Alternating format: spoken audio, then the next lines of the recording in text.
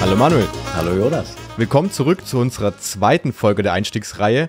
Heute besprechen wir nämlich mal etwas die Gründe, warum wir uns mit Bitcoin beschäftigen sollten. Denn in der ersten Folge haben wir uns angeschaut, was ist Bitcoin überhaupt? Wir haben uns die Grundlagen angeschaut und so einen kleinen Überblick bekommen haben, was denn Bitcoin überhaupt ist, weil für die meisten wahrscheinlich Bitcoin immer noch so ein, ja, so ein Mythos darstellt.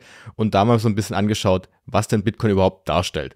Heute schauen wir uns an, weil wir gesehen haben, Thema Bitcoin ist sehr komplex. Jetzt stellt sich natürlich die Frage, warum sollte man sich damit beschäftigen? Deswegen stellen wir uns heute die Frage, wozu benötigen wir denn Bitcoin? Und das hast du uns ein paar Punkte zusammengestellt und deswegen möchte ich gleich an dich weitergeben. Warum sollten wir uns mit Bitcoin beschäftigen? Genau, ist eine spannende Frage und ähnlich schwierig zu beantworten wie die Frage, was ist Bitcoin eigentlich? Wir haben diese Folge so aufgebaut, dass wir am Anfang die Gründe nennen, die relativ offensichtlich sind, die auch in gewisser Form ja, ego egoistisch sind, vom Egoismus geprägt sind. Und in den weiteren Gründen, wozu Bitcoin eigentlich da ist, kommen wir dann immer weiter zu Gründen, die erst mit der Zeit aufkommen. Also die bemerkt man erst, die stellt man erst fest, wenn man sich ein bisschen mit Bitcoin beschäftigt hat. Und wie gesagt, wir fangen mal an mit relativ platten, mit relativ offensichtlichen Gründen, weil wir alle, die sich schon etwas länger mit Bitcoin befassen, wissen natürlich, die beste Werbung für Bitcoin ist der Preis. Wenn der Preis nach oben geht, sind die Leute da, dann kommt es möglicherweise in der Tagesschau, kommt in allen möglichen Medien. Der Preis ist einfach das, was interessant ist für die Leute. Auch gar kein Vorwurf an der Stelle. Deshalb fangen wir mit genau diesem Punkt an. Preis beziehungsweise ähm, ja im Kontext Kapitalanlage. Was bietet Bitcoin? Genau, Kapitalanlage. Warum macht man das Ganze? Im Endeffekt ist es relativ banal. Die Kaufkraft letztlich meines Geldes soll steigen über Zeit. Das heißt, ich habe heute einen Euro und im Idealfall habe ich am Ende des Jahres etwas mehr. Möglicherweise habe ich auch das Ziel von diesen Erträgen, die die Kapitalanlage abwirft, zu leben. Stichwort passives Einkommen liest man ja auch verhältnismäßig häufig. Und klassischerweise wir wissen natürlich, es gibt unfassbar viele Kapitalanlageformen. Gibt es eben beispielsweise Aktien oder Immobilien, Gold, Versicherungen. Wir wollen es für diese Folge, in der es ja um Bitcoin gehen soll, nicht zu kompliziert machen und uns hauptsächlich auf Aktien konzentrieren. Und bei Aktien ist es eben so, dass diese vor Steuer und Inflation, zur Inflation kommen wir gleich nochmal, ungefähr sieben Prozent pro Jahr Rendite erzielen. Das heißt, wenn ich 1000 Euro investiere, habe ich nach einem Jahr, wie gesagt, vor Steuer und Inflation 1070 Euro, 7 Prozent. Für diejenigen, ähm, für die Gold noch interessant sein sollte, auch nochmal eine Zahl, die ist ungefähr in der gleichen Größenordnung. Die durchschnittliche Jahresrendite von Gold vor Inflation und vor Steuer lag in den Jahren 1970 bis 2020 bei 6,45 Prozent. Steuern ist ein wesentlicher Aspekt bei der ganzen Sache. Wir müssen dazu sagen, wir sind keine Steuerberater, aber unseres Wissens fallen auf Gewinne bei Aktien, insbesondere wenn man ja in Form von Aktien-ETFs investiert, also sich beispielsweise so einen Blumenstrauß an Aktien zusammenstellen lässt oder einfach diesen Blumenstrauß fertig kauft, 25% Kapitalertragssteuer an, zuzüglich Solidaritätszuschlag und Kirchensteuer. Feinheiten lassen wir bewusst außer Acht, beziehungsweise klammern wir jetzt mal aus, weil uns geht es eben um das große Ganze. Das heißt, wir ignorieren jetzt mal Steuerfreibeträge und wir ignorieren auch mögliche Unterschiede bei ausschüttenden beziehungsweise thesaurierenden ETFs. Das heißt, mit diesen Rahmenbedingungen, sieben Prozent Rendite pro Jahr hätten wir eben nach einem Jahr aus 1000 Euro 1070 Euro gemacht. Und davon geht, wie gesagt, jetzt die Kapitalertragssteuer plus Solidaritätszuschlag plus gegebenenfalls Kirchensteuer ab. Und unter dem Strich hätten wir da nicht 70 Euro Rendite, sondern netto bei uns rund 50 Euro. Das heißt, es ist schon ein erheblicher Betrag, der da insgesamt eben abgezogen wird. Und jetzt stellt sich eben die Frage, gut, mag ja alles sein, aber wie ist es bei Bitcoin? Und bei Bitcoin ist es so, wenn wir uns die durchschnittliche Jahresrendite Bitcoins anschauen, auch vor Steuer und Inflation, sind wir, was die Jahre 2011 bis 2023 angeht, bei einer durchschnittlichen Jahresrendite von 149 Prozent. Und hier müssen wir jetzt nicht lang rumrechnen. 7 Prozent zu 149 Prozent ist natürlich eine deutliche Diskrepanz. Also die Mehrrendite, die Bitcoin liefert, ist gewaltig. Aber Achtung, aus der Vergangenheit kann ich selbstverständlich nicht auf die Zukunft schließen. Das gilt genauso für Aktien wie auch für Bitcoin. Und die Rendite ist immer die Belohnung für das Tragen eines Risikos. Also ohne Risiko gibt es eben keine hohe Rendite und Bitcoin, das gehört zur Wahrheit einfach dazu, ist hochvolatil. Also es kann immer mal wieder zu Kursrücksetzern von um die 80 Prozent kommen, vollkommen normal. Auch kann es zu Kurssprüngen um mehrere 100 Prozent kommen. Das ist auch vollkommen normal. Das gab es in der Vergangenheit, wird es auch in der Zukunft geben, möglicherweise nicht mehr ganz so stark ausgeprägt, aber die Schwankung ist mit klassischen Kapitalanlagen nicht vergleichbar und das muss man eben wissen, wenn man sein Geld in Bitcoin investieren möchte. Der letzte Punkt im Kontext Kapitalanlage, Steuern. Bei Bitcoin ist es so, und das ist relativ ungewöhnlich, sage ich mal, für Deutschland, wenn wir Bitcoin ein Jahr lang gehalten haben, dann sind die Gewinne steuerfrei.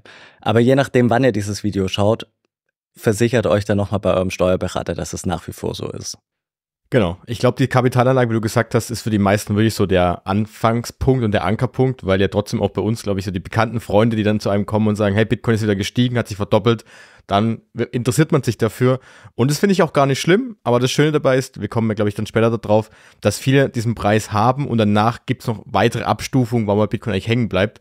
Ähm, zu dem Thema Steuern vielleicht noch, wir müssen dazu sagen, das gilt ja wirklich nur in Deutschland weil Österreich, Schweiz ist nochmal anders. Das heißt, schaut da, wenn ihr aus Österreich oder in der Schweiz kommt und dort lebt oder auch in anderen europäischen Ländern oder auch wo auch immer auf dieser Welt, schaut bitte nochmal explizit nach, wie da Bitcoin behandelt wird, weil es ist bei den Ländern derzeit immer noch so, dass es unterschiedlich angesehen wird. Und ähm, deshalb schaut da bitte nochmal nach, und wie du ja gesagt hast, wir sind keine Steuerberater, aber in Deutschland ist es eben der Fall, was echt interessant ist und was natürlich für jemanden, der Bitcoin längerfristig hält, uns verkaufen möchte, natürlich ziemlich positiv ist. Und ja, das ist ja ganz interessant dann auf jeden Fall. Genau. Ist auch absolut nicht verwerflich, dass man erstmal den Preis sieht und die Rendite im Kopf hat. Das war bei uns ganz genauso. Wir haben uns eben im Kontext Altersvorsorge eben mit Aktien und ETFs auseinandergesetzt und kamen dann auf Bitcoin, sind dann aber aus anderen Gründen geblieben, zu dem wir dann im weiteren Verlauf dieser Folge noch kommen werden. Den zweiten Punkt, den ich ansprechen möchte, ist der Schutz vor Inflation. Also ist Bitcoin ein Inflationsschutz? Und im Endeffekt muss man erstmal schauen, was bedeutet denn eigentlich Inflation? Ich bin mir sicher, jeder hat den Begriff schon mal gehört, jeder hat auch schon mal diese zwei Prozent gehört. Aber was ist es denn eigentlich? Was bedeutet Inflation? Und letztlich bietet es sich ja an, wenn wir diesbezüglich einmal auf die Homepage der EZB gehen, also der Europäischen Zentralbank, weil die EZB ist ja letztlich diejenige, die für den Euro verantwortlich ist. Und wenn wir da eben schauen, was die EZB zur Inflation sagt, stellen wir eben fest, dass es letztlich, stark verkürzt dargestellt, ein allgemeiner Anstieg des Preisniveaus ist. Also wenn die Güter allgemein unter dem Strich im Querschnitt im Preis steigen, dann haben wir Inflation. Wenn einzelne Güter steigen, ist es noch keine Inflation. Außerdem versucht die EZB, die Inflationsrate, wie gesagt, 2%, haben schon vermutlich die meisten gehört, mittelfristig bei 2% zu halten. Da diese 2% nach Auffassung des EZB-Rats eben das Preisniveau sind, das Inflationsniveau sind, in dem die Preisstabilität am besten gewährleistet werden kann. Diese Information hat man letztlich relativ schnell. Ich möchte hier jetzt auch gar nicht groß im Detail darauf eingehen, sondern nur ein paar wenige Anmerkungen eben euch mit auf den Weg geben. Dieses Inflationsziel von zwei Prozent scheint einerseits in Stein gemeißelt zu sein und zum anderen wurde dieses Inflationsziel schon zweimal angepasst, beziehungsweise etwas wohlwollender formuliert, zweimal konkretisiert. Ursprünglich lag dieses Inflationsziel nämlich schlicht bei unter 2%. Es wurde dann angepasst auf unter, aber nahe 2%, also schon mal etwas näher ran an die 2%. Und mittlerweile sind wir bei mittelfristig 2%. Das heißt, es kann auch mal sein, dass die Inflation oberhalb dieser 2% ist, die Inflationsrate darüber liegt. Es ist aber, was das Inflationsziel angeht, nicht schlimm, solange wir eben mittelfristig die 2% haben. Das heißt, wenn wir Phasen haben, in denen wir darunter liegen, passt es eben ins Bild, entspricht dem Ziel, das sich die EZB gesetzt hat. Außerdem ist noch ganz interessant, wie wird die Inflation eigentlich bemessen? Und das ist eben dieser durchschnittliche Warenkorb, der dafür relevant ist. Der setzt sich zusammen aus verschiedensten Gütern und die Zusammensetzung dieser Güter kann sich auch ändern. Außerdem werden die Güter unterschiedlich gewichtet. Das heißt, die persönliche Inflationsrate hat teilweise nichts mit der gemessenen Inflationsrate zu tun, ganz einfach deshalb, weil ihr möglicherweise vermehrt Güter kauft, die gemessen an dem durchschnittlichen Warenkorb eben unterrepräsentiert sind oder eben umgekehrt. Also das ist die Ursache dafür, dass eure persönliche Inflationsrate eben von der offiziellen Inflationsrate abweicht. Wir haben jetzt gerade einfach die Definition der EZB letztlich genommen hinsichtlich Inflation, aber man kann Inflation auch anders definieren. Wie gesagt, wir möchten nicht ins Detail gehen, aber nach anderer Auffassung ist diese Teuerung Ausfluss der Geldmengenausweitung. Und das Wort Inflation kommt vom lateinischen Wort inflatio, was so viel heißt wie aufblähen. Das heißt, wenn man den Wortursprung nimmt, sind wir hier möglicherweise eher an dem Ursprungsgedanke bei hinsichtlich der Frage, was ist Inflation? So oder so reduziert sich die Kaufkraft des Geldes und folgendes ist besonders wichtig. Die Inflation ist nicht erst seit kurzem da, auch wenn wir sie erst seit kurzem ja relativ omnipräsent in, in den Medien wahrnehmen können.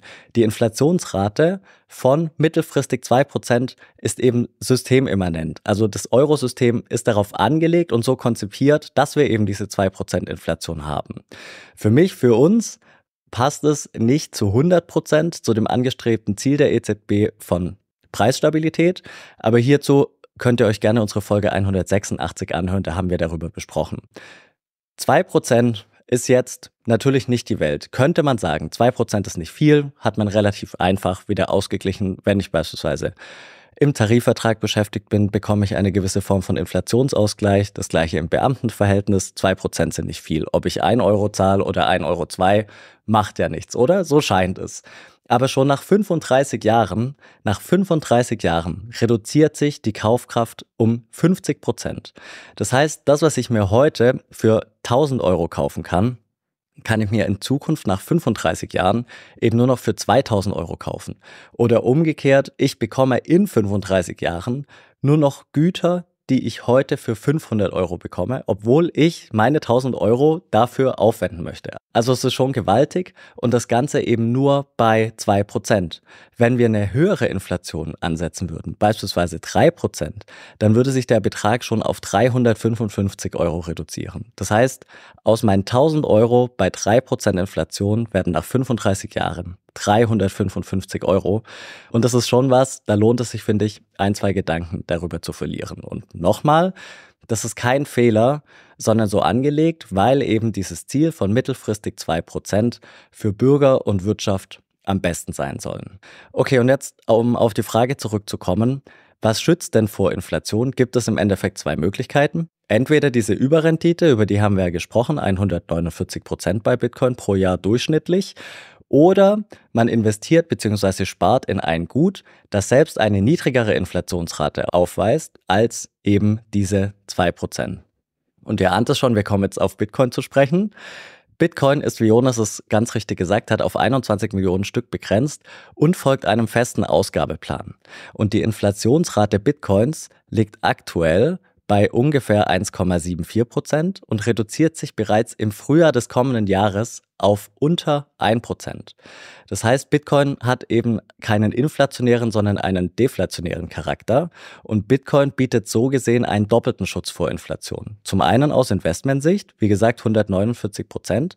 Zum anderen aber auch aus Gesichtspunkten, die eben dem Bitcoin-System selbst anhaften. Einfach nur nochmal gegenübergestellt, das Eurosystem mittelfristig 2% Inflation und Bitcoin bereits nächstes Jahr unter einem Prozent Inflation. Und nur noch als kleiner Gedankenanstoß, auch wenn uns beide das in gewisser Form ärgert, ist es natürlich so, dass es uns sehr gut geht. Uns wie allen in, in Deutschland und Europa, allen im Westen. Wir leben in einem Währungssystem, das relativ stabil ist. Wir haben keine Inflationsraten im zweistelligen Prozentbereich und wir können mit unserem Geld trotz der genannten Gründe oder Mäkel relativ gut arbeiten. Das ist aber bei weitem nicht so für alle Menschen der Welt, bei weitem nicht so in allen Teilen der Welt und auch diese Menschen können Bitcoin nutzen. Und bevor wir jetzt weiterspringen, Ronas, möchtest du noch was ergänzen? Nee, erstmal vielen Dank für die ähm, Zusammenfassung bei dem Inflationsthema. Ich glaube, zwei Punkte habe ich im Kopf. Erstens ist es wirklich sehr wichtig, dass man nicht nur den Preis anschaut, sondern wie du gemeint hattest, man, der zweite Abschluss oder die zweite Absicherung besser gesagt, ist ja, dass Bitcoin eben weniger inflationiert als andere Güter zum Beispiel. Und das ist ja ganz spannend, weil dadurch hast du ja wirklich diesen Inflationsschutz dagegen, dass Bitcoin eben nicht mehr, mehr hergestellt werden kann. Deshalb bleibt es bei diesem bald jetzt unter einem Prozent und da, dadurch schützt du dich ja nochmal dadurch, weil du sagst, ich speichere mein Geld, ich speichere meine Werte, die ich irgendwie erschaffen habe, in etwas, was von außen vor allem, wie du auch, auch beschrieben hast, die EZB gibt ja diese zwei Prozent vor.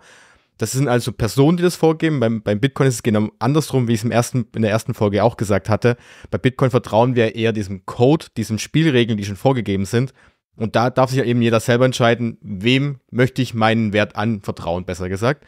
Und das andere ist, natürlich werden jetzt einige sagen, ja, das Inflationsthema 2%, das ist doch wichtig und das ist ja richtig, damit eben, die, wie du gesagt hast, die Wirtschaft auch im Gleichgewicht gehalten wird. Da müssen wir natürlich sagen, da gibt es unterschiedliche Ansichten der Ökonomen. Da gibt es die eine Ecke, die sagt, das brauchen wir auf jeden Fall. Dann gibt es die andere Ecke, die sagt, die brauchen wir überhaupt nicht. Wir beide sind eher der Meinung, dass wir sagen, diese 2% sind so sehr interessant, aufgrund dieser Kaufkraft, Halbierung nach 35 Jahren. Aber da müsste man jetzt auch noch tiefer ins Thema einsteigen, aber das wollen wir heute mal erstmal weglassen. Ähm, da gibt es natürlich andere Diskussionen noch darum, ob das wirklich gut ist oder schlecht ist. Aber da geht es eher weg von Bitcoin, sondern geht es eher wirklich in die Wirtschaftsökonomie, was besser ist. Aber ich glaube, die zwei Punkte waren schon richtig interessant, um zu sehen, dass da ein bisschen mehr dahinter steckt als nur der Preis, vor allem beim Thema Inflationsschutz. Und jetzt können wir uns ja, glaube ich, angucken, was denn bei Bitcoin nochmal so besonders ist. Genau, es steckt auf jeden Fall deutlich mehr drin als nur der Preis. Und hinsichtlich der 2%, wir wollen hier, wie gesagt, die Diskussion nicht aufmachen, aber durch diese 2% ist es eben so, dass diejenigen, die einfach nur Geld möglichst risikoarm klassischerweise unter ihrer Matratze eben liegen lassen und sparen möchten, die werden damit letztlich in gewisser Form bestraft, weil das Geld eben nicht für sie arbeitet. Also es liegt einfach da und wenn Geld nur da liegt, verliert es eben an Wert, was schlecht ist für Sparer und gut für diejenigen, die Schulden aufnehmen. Aber wir wollen, wie gesagt, hier die Diskussion darüber, was möglicherweise besser oder schlechter ist, nicht führen. Ich habe es ja schon angesprochen, gleiche Rahmenbedingungen auf allen Teilen der Welt. Und das ist für mich immer wieder was, was ich gar nicht oft genug betonen kann. Jeder geht selbstverständlich davon aus, dass es vermutlich in anderen Teilen der Welt halbwegs ähnlich aussieht wie bei einem selbst vor der Haustür. Natürlich wissen wir, dass es uns gut geht, aber wie der Zustand in anderen Regionen der Welt ist, wissen wir einfach nicht. So ist es beispielsweise so, dass je nach Quelle 1,7 bis 2 Milliarden Menschen keinen Zugang zu einem Bankkonto haben. Und es hat verschiedenste Ursachen. Möglicherweise ist es so, dass die nächste Bank einfach zu weit weg ist. Also es gibt einfach nicht in jedem Ort der Welt eine Bank, wo ich innerhalb von ein paar Minuten hinlaufen kann oder hinfahren kann. Oder aber ich selbst habe gar keinen Pass und kann mich nicht anmelden bei meiner Bank, weil ich mich nicht ausweisen kann. Und in Summe, wie gesagt, 1,7 bis 2 Milliarden Menschen. Das ist eine unfassbar große Zahl.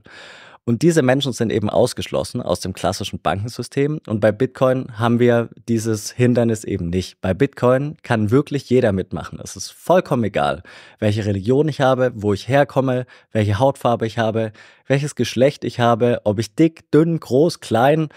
Es ist vollkommen egal, was ich bin, wie ich bin, auch meine politische Gesinnung, alles egal. Jeder kann mitmachen, niemand wird ausgeschlossen. Und das ist eben unter dem Schlagwort ja, finanzielle Inklusion für mich was, was eben essentiell ist für Bitcoin. Darüber hinaus kann Bitcoin auch wunderbar als Zahlungsnetzwerk genutzt werden. Wenn wir jetzt uns mal anschauen, wie läuft denn eine Transaktion ab? Also wie bekomme ich denn Geld von A nach B? Haben wir mit unserem Bankensystem natürlich die Möglichkeit, eine Überweisung auszuführen. Aber die Leute, die diese Möglichkeit nicht haben, müssen letztlich schauen, dass sie irgendwie mit ihrem Geld in Form von Scheinen und Münzen von A nach B kommen. Das birgt natürlich gewisse Gefahren. Ich kann das Geld verlieren, das Geld kann mir abgenommen werden. Aber selbst wenn ich mit westlicher Brille auf diese Situation schaue, ist es eben so, dass es zum Teil so ist, dass Banküberweisungen einfach sehr lang gehen und teilweise exorbitante Gebühren anfallen. Innerhalb eines Landes kann ich Transaktionen, kann ich Überweisungen natürlich verhältnismäßig günstig oder teilweise sogar kostenlos ausführen. Auch innerhalb der Eurozone ist es noch relativ einfach möglich. Aber zum Teil erheben Banken schon Gebühren, wenn ich Überweisungen von Deutschland in die Schweiz senden möchte. Und die Schweiz ist nicht weit weg. Und ihr denkt es vermutlich oder ihr erwartet es vermutlich schon, das war natürlich noch nicht das Ende der Fahnenstange. Es gibt Bereiche, da fallen Transaktionsgebühren von 15 bis 20 Prozent an. Und eine Banküberweisung ist in diesen Bereichen auch nicht von heute auf morgen da. Da kann es schon mal sein, dass eine Banktransaktion mehrere Stunden oder auch Tage in Anspruch nimmt. Das heißt, dieses klassische, traditionelle Bankensystem ist in Extrembereichen einfach nicht mehr zeitgemäß. Für mich passt es nicht zusammen, dass wir jetzt in das Jahr 2024 übergehen und ich teilweise mehrere Tage oder zumindest Stunden auf meine Transaktion warten muss und auf der anderen Seite Gebühren anfallen, die eben 15 bis 20 Prozent betragen. Das passt für mich einfach nicht mehr zur aktuellen Zeit. Und bei Bitcoin ist es so, Bitcoin ist schneller und auch günstiger, vor allem wenn wir das Lightning-Netzwerk benutzen.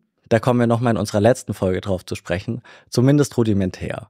Und selbst wenn man sagen würde, Bitcoin bietet mir persönlich nichts, ich möchte Bitcoin nicht halten, bietet Bitcoin eben die Möglichkeit, dass man Bitcoin ausschließlich als Zahlungsnetzwerk benutzt. Das heißt, ich kann am einen Ende der Welt meine Währung gegen Bitcoin tauschen, den Wert über die ganze Welt verschicken, innerhalb relativ kurzer Zeit, für relativ wenig Gebühren und am anderen Ende der Welt Bitcoin zurücktauschen in die andere Landeswährung. Das heißt, Bitcoin ist wie gesagt schneller und Bitcoin ist günstiger und es ist grenzüberschreitend möglich. Und die Besonderheit dieser Transaktion ist dann final durchgeführt. Also es gibt nicht die Möglichkeit, dass diese irgendwie von einer Seite rückabgewickelt werden kann. Wenn die Transaktion in der Welt ist, ist die Transaktion in der Welt. Und dadurch, dass wir niemand haben, der ja an der Türe steht, wie beispielsweise bei der Bank und sagt, du darfst mitmachen und du darfst nicht mitmachen, ist auch keine Zensur möglich. Also jeder kann letztlich Werte von A nach B schicken, wohin er möchte, wann er möchte. Bitcoin ist frei und wie man diese Freiheit jetzt bewertet, ob das ausschließlich gut ist oder ob es auch negative Aspekte gibt, ist jedem freigestellt. Aber vom Grundsatz her ist es meiner Auffassung nach gut, dass jeder mitmachen kann, jeder Mensch auf der Welt letztlich die Möglichkeit hat, an diesem Netzwerk zu partizipieren. Ja, das ist ja das Spannende gerade, weil die meisten bei Bitcoin an dieses Kapitalthema denken, was wir gerade am Anfang hatten, aber dass dahinter halt eben noch ein Zahlungsnetzwerk steckt, unabhängig von dieser Knappheit, die wir angesprochen haben, die einen sehr, sehr großen äh, Vorteil bietet, ist das Zahlungsnetzwerk echt sehr, sehr spannend, gerade im Alltag. Auch klar, wie du gesagt hast, wir, jetzt wir beide als Deutsche werden das wahrscheinlich noch nicht so nutzen, aber welche Möglichkeiten sich da ergeben, sind schon verrückt, weil, wie du gemeint hattest, diese Transaktionsgebühren, die klar in, im halt Europabereich noch relativ gut sind, teilweise äh, meistens ja kostenlos sind, aber wie du gesagt hast, so in Extremsituationen, gerade wenn es länderübergreifend geht, Beispiel von Deutschland nach Asien, das etwas zu überweisen, dauert sehr, sehr lange und es ist wirklich dann, wie du gesagt hast, diese 15, 20 Prozent sind schon sehr hoch angesetzt, aber das sind nicht aus der Welt gegriffen und das ist halt das Verrückte dabei. Und dass man da eben sieht, dass dieses Bankensystem, was wir jetzt haben, 2024, und wir ja eigentlich aber global agieren, also auch wirtschaftlich global agieren, aber ein System haben, was immer noch gefühlt in den, keine Ahnung, wo auch immer noch geblieben, hängen geblieben ist, ist schon verrückt. Und dass es so viel kostet und es gibt ja die Möglichkeiten, das zu umzuändern. Und da, da könnte eben Bitcoin eine Lösung bieten, wenn ich gerade eben auch größere Mengen an Vermögen oder Werten auf die andere Welt der, äh, Seite der Welt schicken möchte, weil wie gesagt, Bitcoin interessiert erstens nicht, wer du bist, Zweitens nicht, ähm, da, was du da hinschickst und vor allem auch nicht, wo du hinschickst. Dadurch, dass es digital ist, ist es so, wie wenn du eine E-Mail schickst. Ob ich dies nach Tokio schicke oder nach New York, ist völlig egal. Und das ist das Spannende an Bitcoin und vor allem das Spannende an diesem Zahlungsnetzwerk. Und das verlieren die meisten eigentlich aus dem, aus dem Blick, habe ich das Gefühl, oder sehen es erst gar nicht. Und deswegen ist, ist es richtig cool, dass äh, du das mal angesprochen hast, dass das Zahlungsnetzwerk ja auch vorhanden ist und dass da noch einiges kommen kann, was wir vielleicht auch im Alltag nutzen könnten irgendwann. Ja, auf jeden Fall. Im Alltag nutzen wir es noch nicht dahingehend, dass wir jetzt unsere täglichen Einkäufe mit Bitcoin bezahlen könnten oder müssen. Aber die Möglichkeit ist da und das ist halt das Faszinierende. Und für uns ist es halt so, dass es eine Art Zusatzmöglichkeit gibt, wenn man so möchte, ein Backup-System, also ein System, auf das man ausweichen kann, wenn das eigentliche Bezahlsystem nicht mehr funktioniert. Aber in anderen Teilen der Welt ist es halt so, dass dieses primäre System, das wir haben, nicht so stabil ist oder für alle erreichbar ist, wie wir es eben gewohnt sind. Und dort ist diese Backup-Lösung eine super Möglichkeit, meiner Meinung nach, eben alle Leute abzuholen. Ein letzter Punkt, den ich ansprechen möchte, aber nur ganz eingeschränkt, ist die Tatsache, dass die Geldmenge in unserem Euro- oder Dollarsystem letztlich beliebig ausgeweitet werden kann und bei Bitcoin eben nicht. Sie haben es ja schon zwei, dreimal angesprochen. Die absolute Anzahl Bitcoins ist auf 21 Millionen begrenzt und ohne zu sehr ins Detail zu gehen, im Euro- oder Dollarsystem ist es schlicht nicht der Fall. Die Zentralbank, die EZB, kann letztlich unbegrenzt Zentralbankgeld in Form von Bargeld schöpfen und in Umlauf bringen. Und die Geldschöpfung aus dem Privatbanksektor im Giralbanksektor, also dieses Giralbankgeld, was wir auf unserem Konto haben, ist noch wesentlich ausufernder. Wie gesagt, wir wollen nicht zu sehr ins Detail gehen, aber wichtig ist eben uns hier Folgendes. In unserem Schuldgeldsystem gibt es keine Begrenzung in der Form, wie wir sie bei Bitcoin haben. Es ist nicht so, dass man sich an irgendeiner Obergrenze als Zentralbanker messen müsste, was jetzt die Geldmenge selbst angeht. Genau. Dann würde ich sagen, sind das ja eigentlich die größten Punkte, die du angesprochen hast. Ich würde vielleicht ganz kurz die vier größten nochmal zusammenfassen, wenn das für dich in Ordnung ist. Klar. Genau. Für mich ist, das ist wahrscheinlich für die meisten, das Thema Kapitalanlage eben, dass ich eine Rendite erziele, die über diesem Inflationsziel liegt, meistens. Das ist für die meisten jetzt gerade der Fall vor allem. Oder eben, dass ich mein Geld überhaupt vermehre, dass ich in Zukunft, weil ich früher aufhören kann zu arbeiten oder früher in Rente kann oder eben einfach mehr Geld oder besser gesagt mehr Kaufkraft habe.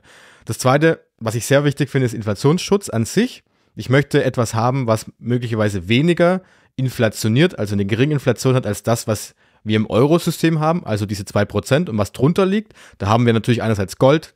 Gold liegt auch so bei knappe 2% pro Jahr als Inflation und Bitcoin wird eben immer weniger, sodass wir bald unter 1% sogar liegen. Dann der dritte Punkt, den du angesprochen hast, den ich auch sehr spannend finde, ist das Zahlungsnetzwerk. Das heißt, wir hätten dann eine völlig neue Möglichkeit, äh, Dinge zu versenden weltweit und welche welche Auswirkung das wiederum auf das alltägliche Leben von zum Beispiel Händlern hat oder auch für uns selbst, wie auch dem, welche Richtung das gehen könnte. Ähm, das ist natürlich eine andere Variante, da kann man sich seine Fantasie ein bisschen ja, freien Lauf lassen. Und das vierte ist halt, glaube ich, dieses Thema Geldmengen, Ausweitung oder was gesagt, das Geld herstellen. Das muss man sich mal vorstellen. Kann man Geld wirklich frisch herstellen? Kann man das wirklich aus dem Nichts herstellen, besser gesagt? Da kommen wir, glaube ich, dann in der nächsten Folge beim Thema Geldgeschichte noch ein bisschen dazu.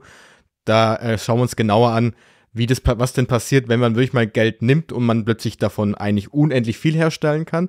Und bei Bitcoin im Gegensatz dazu haben wir eben nur 21.000, äh, nicht 21.000 oder 21 Millionen Bitcoin, die eben nicht hergestellt werden können, egal was du machen möchtest. Und da hast du diese zwei ge komplette Gegensätze. Und das ist natürlich sehr interessant zu schauen, was da dann rauskommt. Und das würde ich mal sagen, so die vier Punkte, warum man sich mit Bitcoin beschäftigen sollte. Und ich glaube, ähm, ja, das könnte schon ein Anreiz sein, dass man hoffentlich ein bisschen mehr aus nur dieses, den Preis im Kopf hat, sondern vielleicht ein bisschen mehr hinter Bitcoin schaut und denkt, ha, vielleicht gucke ich mir das nochmal ein bisschen genauer an. Genau, Bitcoin ist einfach viel mehr als diese Zahl, die immer wieder durch die Medien geistert, aber vollkommen legitim, dass man eben diesen Berührungspunkt als ersten hat. Aber der Wunsch von uns wäre es, dass ihr eben über diese Zahl hinausgeht und euch zumindest im Ausmaß unserer Einsteigerfolgen wo ihr noch acht weitere vor euch habt, mit Bitcoin auseinandersetzt. Genau, das war jetzt unsere zweite Folge, warum man sich mit Bitcoin beschäftigen sollte. In der nächsten Folge schauen wir uns mal an, wie Geld überhaupt entstanden ist und was überhaupt Geld ist. Und wenn euch diese Folge gefallen hat, würden wir uns natürlich freuen, wenn ihr auf eurer Podcast-Plattform der Wahl uns eine Bewertung abgebt. Oder wenn ihr auf YouTube zuschaut, natürlich unseren Kanal folgt und diesem Video einen Daumen nach oben gebt. Und ansonsten, wie gesagt, in der Episodenbeschreibung findet ihr immer alle weiteren Informationen, weitere Episoden, wo ihr noch weiter reinhören könnt und auch weitere Artikel, wenn ihr euch interessiert, warum man sich mit Bitcoin beschäftigen solltet. Und dann würde ich sagen, wir hören uns dann gleich wieder zur dritten Folge. So sieht's aus. Dann bis gleich. Dann, Ciao. Bis gleich. Ciao.